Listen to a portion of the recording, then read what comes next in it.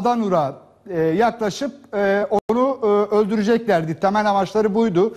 Suikast e, amaçtı ama e, alınan istihbarat değerlendirildi ve nokta atışıyla e, bu olay e, önlendi. Cizre'nin e, Dağ Kapı mahallesindeki bu eve operasyon düzenlendi ve e, iki e, terörist ölü olarak ele geçirildi.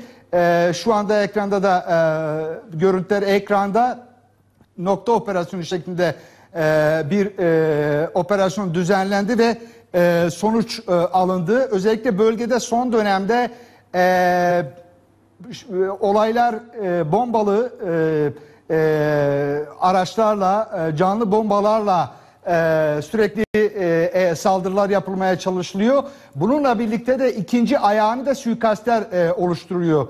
E, Hakkari'de İl AK Parti e, Gençlik Kolları Başkanı, e, devamında 3 tane ilçe başkanı e, öldürüldü. Burada da temel amaç e, Cizre Belediye Başkanı'na vekaleten atanan e, Ahmet Adanur e, kaymakam ve Cizre Belediye Başkanı'nı e, suikaste öldürmek.